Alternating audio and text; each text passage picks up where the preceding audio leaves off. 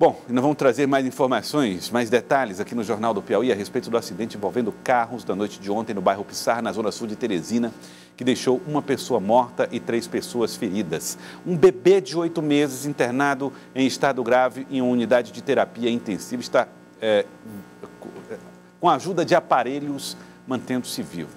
Vamos trazer as informações dessa reportagem de Tiago Melo. A dor silenciou a família da vítima durante o velório. Abalados, familiares não deram entrevista. Raimundo Nonato da Silva Oliveira, 53 anos, dirigia um dos carros envolvidos no acidente registrado ontem por volta de 22 horas no cruzamento das avenidas Higino Cunha e Odilon Araújo, bairro Pissarra. Uma câmera de segurança mostra o momento em que o veículo das vítimas é acertado em cheio pelo carro de luxo. O motorista do carro de passeio ficou preso às ferragens e morreu no local.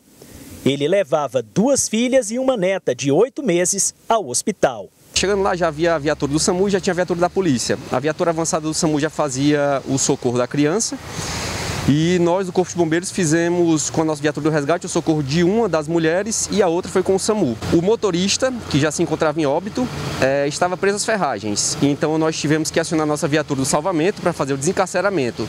No entanto, a gente tem que esperar primeiro o trabalho da perícia.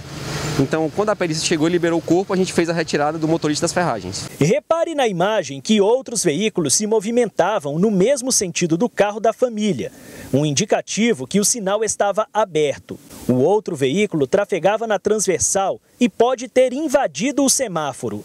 É o que consta no depoimento de um dos policiais que atenderam a ocorrência. Um trecho diz que populares informaram ao PM que o motorista da SW4 teria invadido o sinal em velocidade muito alta. O condutor do carro, advogado Marcos Vinícius Nogueira, que aparece neste vídeo, foi preso em flagrante. Em depoimento, uma testemunha relatou à polícia que o advogado estava com odor etílico, olhos avermelhados e disperso.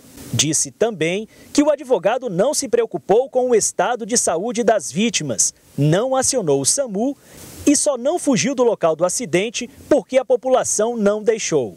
Acrescentou ainda a testemunha que no interior da SW4 havia uma garrafa de cerveja e que o carpete do veículo estava encharcado com resquícios de bebida alcoólica. Marcos Vinícius foi autuado por homicídio doloso. Questionado sobre o fato, ele exerceu o direito de se manter calado e só falar em juízo. O advogado foi conduzido ao Instituto de Medicina Legal para exame de alcoolemia, mas se negou a fazer o procedimento. O laudo do IML aponta que Marcos Vinícius estava orientado, sem sinais de agitação.